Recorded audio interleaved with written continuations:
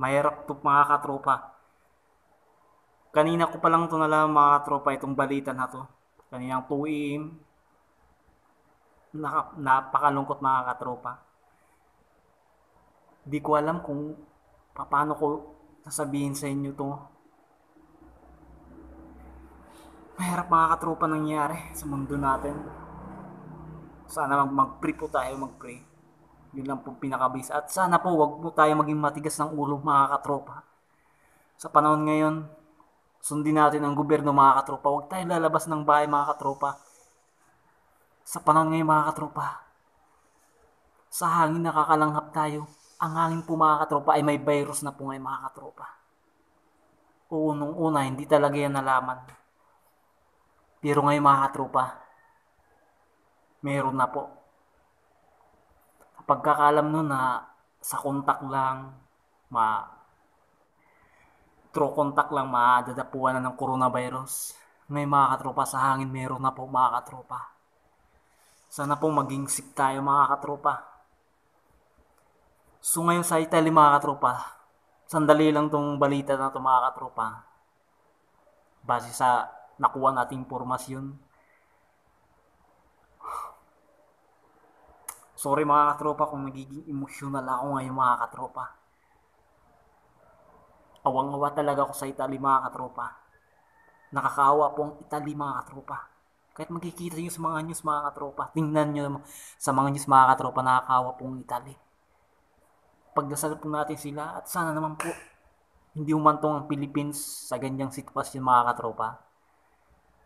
Isipin nyo mga katropa, 793 bids in 24 hours.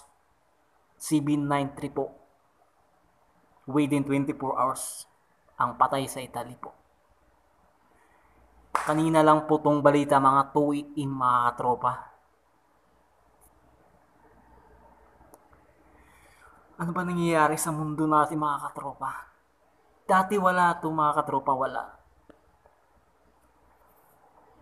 Di ba kung malalaman nyo naman nag-umpisa lang to sa Wuhan, China. Doon lang po nag-umpisa ang virus na to mga katropa. Magdasal po tayo mga katropa, wag, to, wag po tayo maging matigas sa mga ulo mga katropa. Wag po tayo lumabas ng mga bahay natin mga katropa. At kung lalabas man po tayo mga katropa, dapat nakasip po tayo. Nakabalot po tayo mga katropa. Nakakatakot panahon ngayon mga katropa. E wag na natin hintayin mangyari yung sa Italy mangyari dito mga katropa. Wag naman po. Pagdasal po natin Italy mga katropa. Ang wawa talaga ako sa Italy mga katropa. Kawawa naman yung Italy. At meron sila dun 50,000 cases na coronavirus mga katropa. So dami mga katropa.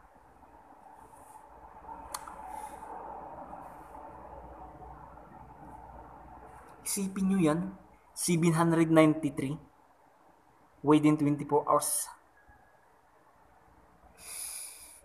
793 deeds 24 hours sa Italy mga katropa. Napakalungkot mga katropa. Tingnan nyo mga news mga katropa. Nakakatakot ng mundo ngayon mga katropa. May mga haka-haka na ito na daw ang katapusan ng mundo. Pero wag naman po sana. Lagi po tayo magdasal mga katropa na sana hindi naman maging ganito dito sa Pilipinas na sa Philippines yung nangyari sa Italy mga katropa. Mahirap na mga katropa. So yun lang mga katropa nag ana sagap nating balita ngayon mga katropa. Ingat lagi kayo mga katropa. And keep safe everyone. Bye bye.